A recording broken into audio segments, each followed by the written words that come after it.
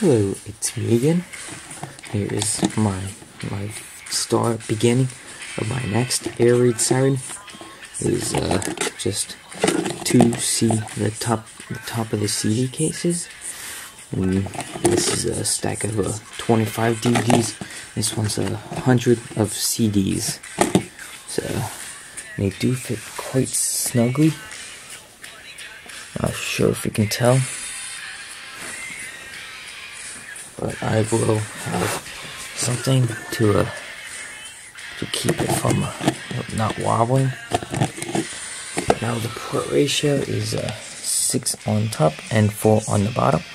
Now since I don't know which way this will be spinning, I don't know if it's going to be spinning that way or that way.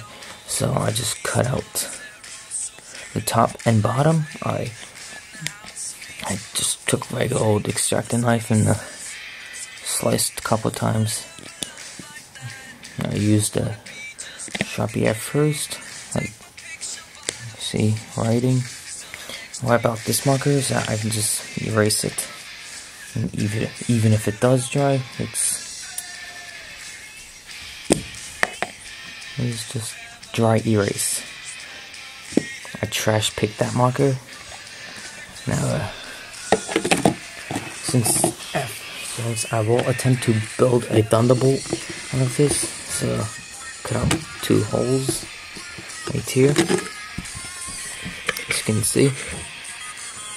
So, so wish me luck with this, alright? So thanks for watching and uh, I don't know what model I'm gonna use for this.